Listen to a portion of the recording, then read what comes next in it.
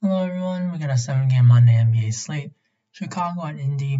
Chicago side Wendell Carter Jr. could be back. He's currently listed as questionable. If he is back, then he's most likely going to be very limited. So um, we're not going to be playing him, but it just affects all the other guys' minutes.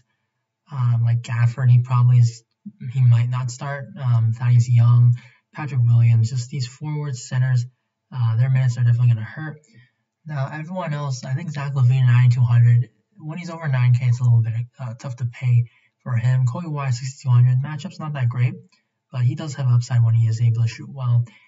And then if Wendell does uh, stay out, then I think you can still look to Patrick Williams, um, Young, but their prices definitely aren't going to be core plays. Satoransky 4,600, he's been playing more minutes recently. Temple, also someone that actually has been starting over Valentine now both of them could be value plays, but you know they're not like that cheap in the three Ks, and it is a seven game slate, so I think we can do better. Now the Pacers side, the closing lineup for this team is just always inconsistent. Even Sabonis is not closing sometimes, and that's just it's tough. But you know he's just way too ta- talented of a player, and it's way too good of a matchup here. So even at 9100, kind of a more you know on the higher end of prices for Sabonis this year he's still definitely well worth it. He's got monster upside. It's a great matchup. He, he just he's one of the league leaders in touches. Brogdon 7700, love him as well.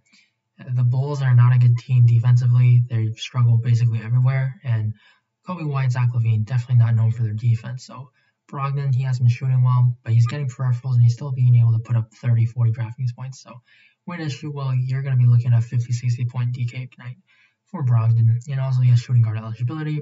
Miles Turner, he's also intriguing, 6K. Against the Bulls, just always a team that we can target against centers. Now, he's not a guy that gets a lot of rebounds, but if you get a game where Sabonis doesn't close or something weird happens, Turner definitely can get big minutes. Doug McDermott being questionable, that also helps everyone else that is going to play uh, because that just means they could more likely uh, close because McDermott does sometimes get those minutes. And if he is going to be out, then we could definitely see Jeremy Lamb back into the lineup. And at 4,800, he definitely does have 30, 40 point upside, and it's a great matchup once again. Now, this Houston game, Washington, John Wall, it's a revenge spot for him. He said that you know he doesn't like how the Wizards treated him, how he was traded. So, but now that he's on a limit, he was expected to play 35 minutes last game if it wasn't blown out. We could definitely see big minutes for uh, John Wall. And the Wizards, they've been so bad this season. Um, I mean, Wall without Oladipo too there's just so many factors that are pointing in the right way for John Wall. So he's going to be one of my top plays of the slate. Eric Gordon, he's fine. Again, just everyone on the Houston side, it's going to be good for them. Wizards are just that bad. Cousins 6,200. Minutes are definitely a concern because he actually didn't even return for a second stint in the first half. Now, the Wizards, it's definitely an easy matchup. They start Mo Wagner at center. He can't handle Cousins. You know, Robin Lopez, Alex Len, whoever they got, they're just not going to be able to handle Cousins. So as long as Cousins doesn't get frustrated, ejected, into foul trouble, he does have monster upside in this matchup. Now Tate, House, Sterling Brown, and Nwaba, they're just kind of like value plays, but like you know you're not going to feel too good about them because they're one all other than Nwaba, they're all above 4K, so it's not like extreme value.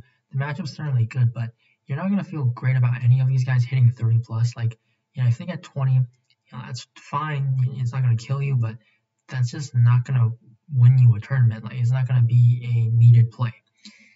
Now the Wizards side, Westbrook back to back, so he could rest. If he's out, then Bradley Beal has to be a core player at 8,900. Even if Westbrook were to play, Beal's still fine at this price. Um, Ish Smith's already out, so Raul Neto, he was on a limit last time Westbrook missed, but he looks to be ready to go now. And now you don't have Ish Smith, 4,600, not that cheap but he definitely can play maybe 30 plus minutes here, and I think he can actually be a better value play than the Rockets guys. Then you have the F4K. he's someone that picks up usage when Westbrook is out, so at 4K he makes sense for a value play. And then got to talk about Mo Wagner, 3200. He picked up the start last time uh, on Sunday. He played pretty well, so I would expect him to get another start here. And in that case, at 3200, you're looking at probably a very good value play. Now, there's definitely a chance he could bust because the Wizards have other guys that they can go to. And he does foul, so Cousins someone that can draw fouls. there's definitely concerns, so I wouldn't like absolutely lock him in 100% of lineups, but he's very productive. He definitely has a lot of uh, upside at this price.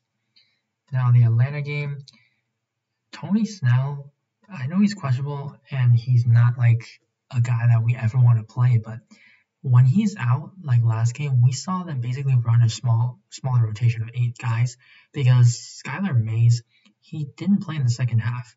They basically ran an eight man, and that's gonna help the minutes of everyone. Like Gallinari, Reddish, they both look pretty good. I prefer Gallo because it's only six hundred dollars more. And he's just more of the scoring threat. He can create more for himself.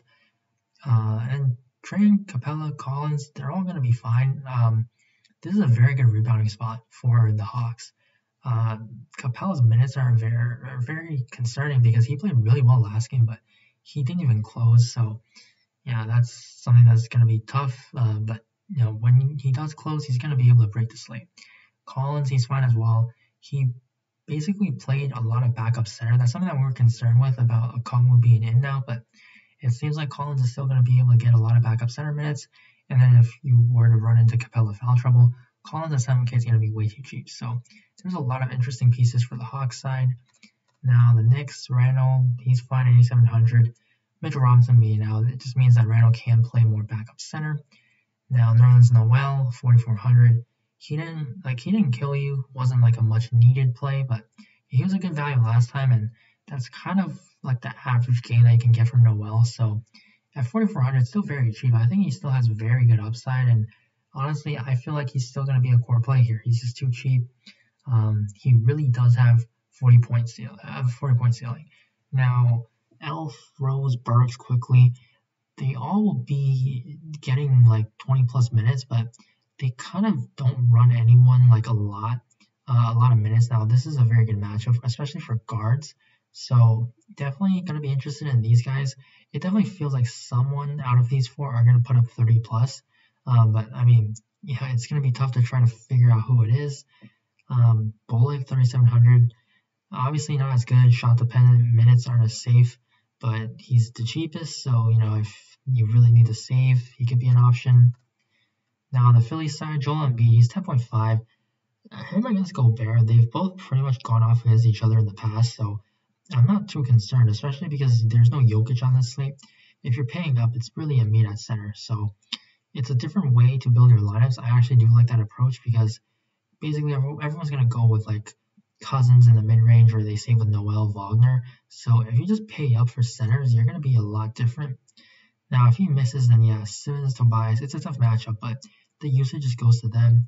Um, Dwight Howard then value, so something to monitor what happens here. Um, Utah now, other side. Mitchell's gonna look really good again without Conley in close games and against like good teams, Mitchell usually does take up uh, take more shots, gets more usage. So I do like Mitchell quite a bit. Um, he was hurt by blowout and foul trouble last game. Gobert 7200. This is a matchup where if Embiid's in, we can definitely see him play more minutes. Now that favors Gobert um, play, playing time. That was just against the Bucks, so they're gonna get staggered again. Clarkson, Ingles, Bojan, they're all fine, but at these prices, like they don't feel like core plays. So really, it's gonna be at the top with Mitchell and Gobert. Cavs, Drummond sent off for rest. He should be good to go here. And against the Warriors, he could definitely play really well and get more minutes because he's obviously he's gonna start. And the Warriors, they just don't have size right now. Like Draymond's not gonna be able to handle Drummond. So if he starts really well, he's gonna be able to play probably like at least 30 minutes. And at 7600, he has all the upside in the world. So Drummond, I definitely wanted to have some of him in tournaments.